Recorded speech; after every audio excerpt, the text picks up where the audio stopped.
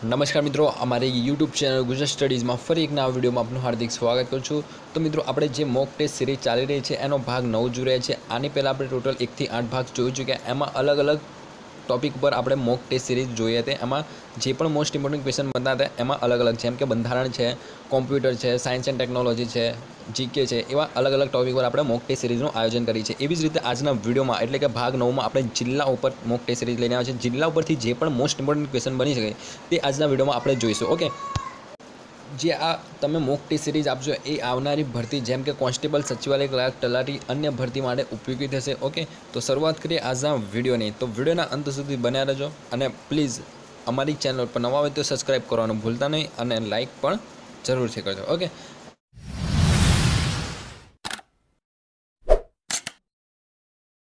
આજના વિડીયોમાં આપણે ટોટલ ટ્વેન્ટી ક્વેશ્ચન જોઈશું. ટ્વેન્ટીમાંથી તમારે કેટલા સાચા પડે છે એ કોમેન્ટ કરીને જરૂરથી જણાવવાનું છે.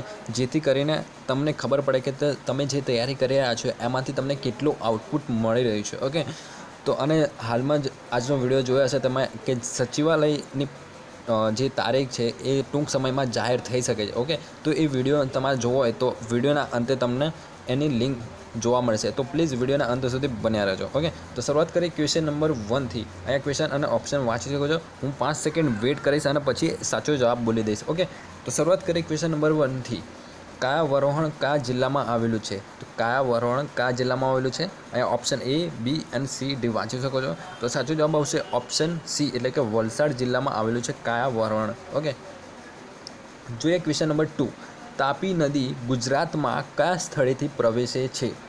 તો તાપી નદી એ ગુજરાતના હરણફાળ પ્રવે સ્થળેથી પ્રવેશે છે.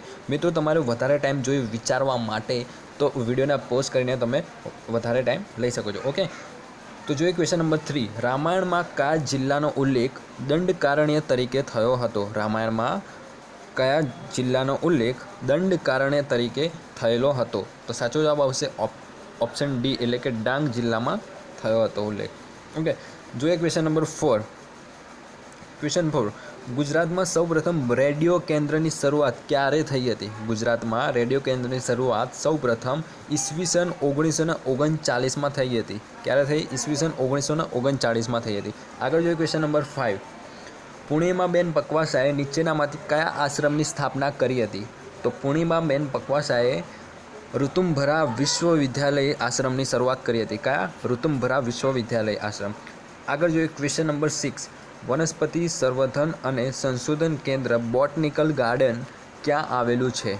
તો સાચો જવાબ આવશે ઓપ્શન નંબર ડી એટલે કે વધઈમાં આવેલું છે. બોટનિકલ ગાર્ડન ક્યાં આવેલું છે? વધઈમાં આવેલું છે. આગળ જોઈએ ક્વેશ્ચન નંબર સાત. એક હજાર બોરીવાળો મહેલ ક્યાં આવેલો છે? એક હજાર બોરીવાળો મહેલ ક્યાં આવેલો છે? તો સાચો જવાબ આવશે ઓપ્શન ડી એટલે કે રાજપીપળામાં એક હજાર બોરીવાળો મહેલ આવેલો છે. આગળ ક્વેશ્ચન નંબર એટ ગુજરાતમાં સૌથી ઓછો લિંગ પ્રમાણ ધરાવતો જિલ્લો કયો છે? ગુજરાતમાં સૌથી ઓછું લિંગ પ્રમાણ ધરાવતો જિલ્લો કયો છે? સુરત જિલ્લો છે.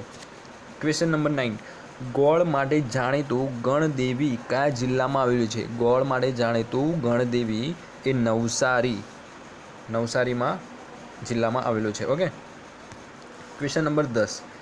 ક્વેશ્ચન દસ. ગુજરાતમાં સૌપ્રથમ મસ્જિદ કયા જિલ્લામાં બાંધવામાં આવી હતી? મોસ્ટ ઇમ્પોર્ટન્ટ ક્વેશ્ચન ગુજરાતમાં સૌપ્રથમ મસ્જિદ કયા જિલ્લામાં બાંધવામાં આવી હતી? તો સાચો જવાબ આવશે ઓપ્શન ડી ભરૂચમાં સૌપ્રથમ મસ્જિદ બાંધવામાં આવી હતી. ક્વેશ્ચન ઇલેવન વડોદરા ખાતે આવેલ જીએસએફસી એટલે કે ગુજરાત સ્ટેટ ફર્ટિલાઇઝર એન્ડ કેમિકલ્સની સ્થાપના ક્યારે કરવામાં આવી હતી?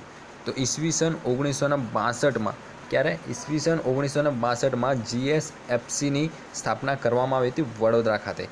આગળ જોઈએ ક્વેશ્ચન નંબર ટ્વેલ્વ ગુજરાતનું સૌપ્રથમ સહાયકારી ધોરણે ચલાવતું ખાંડ કારખાનું, ખાંડનું કારખાનું ક્યારે સ્થાપવામાં આવેલું? ગુજરાતમાં સૌપ્રથમ સહકારી ધોરણે ચાલતું ખાંડનું કારખાનું ક્યારે સ્થાપવામાં આવ્યું હતું? ઈસવીસન ઓગણીસો ને છપ્પનમાં ઓપ્શન ડી સાચો જવાબ આવશે. આગળ જોઈએ ક્વેશ્ચન નંબર ત્રે તેર. એક પણ ટાંકા વિનાની રજાઈ સૂજની ઉદ્યોગ ક્યાં વિકસ્યો છે? એક પણ ટાંકા વિનાની રજાઈ સૂજનો ઉદ્યોગ ક્યાં વિકસ્યો છે? તો ભરૂચમાં વિકસ્યો છે. ક્યાં? સાચો જવાબ આવશે ભરૂચ. આગળ જોઈએ ક્વેશ્ચન નંબર ફોર્ટીન કયું શહેર પુસ્તકોની નગરી તરીકે ઓળખાય છે? કયું શહેર પુસ્તકોની નગરી તરીકે ઓળખાય છે? તો નવસારી એ પુસ્તકોની નગરી તરીકે ઓળખાય છે. આગળ જોઈએ ક્વેશ્ચન નંબર ફિફ્ટીન કયું સ્થળ સૌરાષ્ટ્રની સંસ્કાર નગરી તરીકે ઓળખાય છે? કયું સ્થળ સંસ્કાર, સ્થળ સૌરાષ્ટ્રની સંસ્કાર નગરી તરીકે ઓળખાય છે? તો સાચો જવાબ આવશે ઓપ્શન ડી, એટલે કે ભાવનગર એ સૌરાષ્ટ્રની સંસ્કાર નગરી તરીકે ઓળખાય છે. આગળ જોઈએ ક્વેશ્ચન નંબર સિક્સટીન સોળ. સમર ફેસ્ટિવલ કયા સ્થળે ઉજવાય છે? સમર ફેસ્ટિવલ ક્યાં ઉજવાય છે? સાપુતારા. સાપુતારા એ હવા ખાવાનું સ્થળ છે. ઓકે ક્વેશ્ચન સેવન્ટીન એટલે સત્તરમો ક્વેશ્ચન જોઈએ. પ્રખ્યાત સંગીતકાર બેજુ બાવરાનું વતન કયા સ્થળ છે? પ્રસિદ્ધ પ્રસિદ્ધ સંગીતકાર બેજુ બાવરાનું વતન કયા સ્થળે છે? તો ચાંપાનેરમાં છે. ક્યાં છે? ચાંપાનેર. આગળ જોઈએ ક્વેશ્ચન નંબર અઢાર. વેદો તરફ પાછા વળો નો નારો કોણે આપ્યો હતો? વેદો તરફ પાછા વળોનો નારો કોણે આપ્યો હતો? તો દયાનંદ સરસ્વતીએ આપ્યો હતો. આગળ જોઈએ ક્વેશ્ચન નંબર નાઇન્ટીન અતુલ રંગ અને રસાયણનું કારખાનું કયા જિલ્લામાં આવેલું છે? અતુલ રંગ અને રસાયણનું કારખાનું કયા જિલ્લામાં આવેલું છે? તો વલસાડમાં આવેલું છે. ક્યાં આવેલું છે? વલસાડ.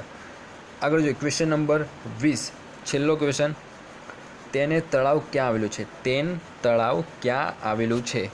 તો સાચો જવાબ આવશે ઓપ્શન એ, વડોદરામાં તેન તળાવ આવેલું છે. ક્યાં આવેલું છે? વડોદરામાં.